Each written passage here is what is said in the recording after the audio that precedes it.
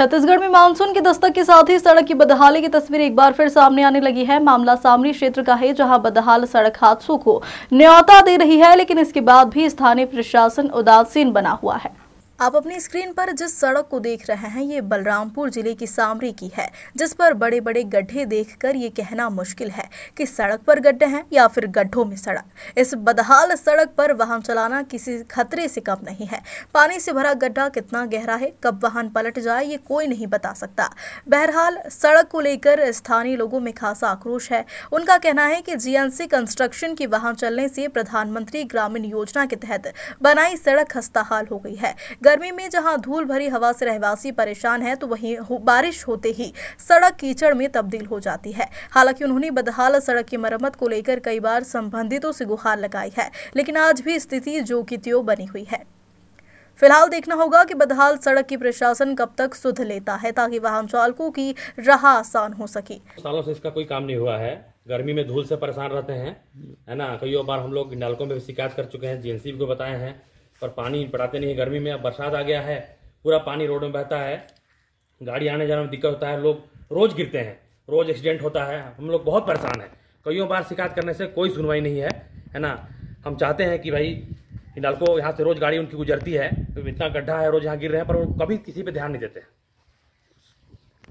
पंचायत प्रतिनिधि को तो बोलते हैं सरपंच को, सरपंच कोई कोई मतलब ही नहीं है यहाँ से, है ना? कई बार लोग आ भी हैं, जा भी रहे हैं, देख भी रहे हैं, परेशानी हम लोग हमेशा अवगत कराते हैं, पर किसी के द्वारा कोई संज्ञान नहीं लिया जाता। आते हैं कि नाली का निर्माण हो पानी पूरा रोड में बहता है है ना? हम लोग सरकार से भी गुहार किए थे कि नाली निर्माण हो, पता चला कि नाली सेंक्शन हो गया, पर अभी तक उसका कोई अता पता नहीं है है ना? और पूरा पानी रोड में बहता है, जिससे बहुत दिक्कत होता है हम लोग को। इसमें जीएनसी कंपनी की गाड़ी ज़्यादातर चलती है है ना? चार पाँच माइंस हैं, पूरी गाड़ियाँ यहीं चलती हैं। हम तो चाह रहे थे गाड़ियों को बाईपास करा दिया जाए। इधर से आने जाने में हम लोग को दिक्कत होता है गाड़ी आने जाने से। धूल उड़ता है अलग बच्चे खेलते हैं रोड में है ना मवेशी चलती है उससे भी दिक्कत होता है जाम लगता है उससे भी दिक्कत होता है। गाड़ियाँ अक्सर रोड में खराब जाती हैं उससे भी हम लोग को दिक्कत होता है। मतलब है हम। ये जो मार्ग की स्थिति है परेशानी होता है और कि कौन कौन सी गाड़ियाँ चलती है कौन से कंपनी की गाड़ियाँ चलती है थोड़ा विस्तृत रूप से बताएँगे। हज़ारों गाड़ी चल रहे हैं का गाड़ी ओवर हो रहा है नागपुर को भी कहा गया लेकिन कोई बनाने वाला क्या नहीं इतना गड्ढा है। अब हम लोग मैंने पैदल चलने के लिए दिक्कत होता है। नाली हो गया। फ़ोटो फ़ोटो से क्लियर हो गया कि नाली हो गया। हम्म, नाली नहीं है। सब नेता लोग कहते कहते थक गए। ये रोड के बारे में किनको किनको शिकायत किए थे? चिंता मणि महाराज। बहुत मैंने पहले है? यहाँ के सरपंच पंच और किसको? मतलब सभी नेता मंत्री को इसके बारे में शिकायत था। रोड में। परेशानी पैदल चलने के लिए दिक्कत होता है। गाड़ी कल यहाँ चल रहा था एक दो गाड़ी फंस गया। वो बैक करे आए पीछे हमारे तरफ़ मैंने साइड करके पार कर मैं चाहो भाई अब इनको रोकें परेशानी हो जाएगी। नहीं होगा बाहर से आने वाले को तो हम लोग फैसिलिटी देंगे। प्रशासन से आप लोग क्या चाहते हैं?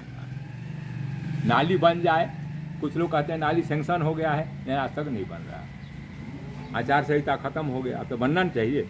मतलब रोड बनना चाहिए। हाँ रोड बनना चाहिए रोड बनकर रोड का नाली बनना चाहिए।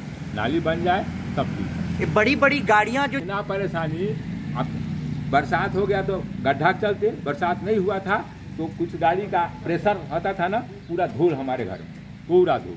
अच्छा ये वाली रोड जो है पीएम। जसवाई की रोड में बड़ी बड़ी भारी गाड़ियाँ चल रही है हाँ। मतलब दिक्कतों का भारी बहुत बहुत परेशानी हम्म। चलिए धन्यवाद। देने में परेशानी होता है धन्यवाद। ठीक। मेरा नाम आर्यन गुप्ता है मैं ग्राम सामरी का निवासी हूँ। कुटकू में मैं रहता हूँ। हमारे रोड का स्थिति बहुत ही गंभीर है। आए दिन यहाँ दुर्घटना होती रहती है। बड़े बड़े ट्रकों का आवागमन लगा हुआ रहता है। इसी रोड में बक्साइड ट्रकों के द्वारा निकाल कर लिया जाता है। बड़े बड़े ट्रक आने से बहुत परेशानी है।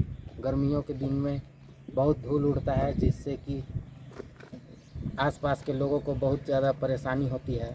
नहीं ये जो बरसात आए दिन यहाँ पे दुर्घटना होने का डर होता है। पूछ करिए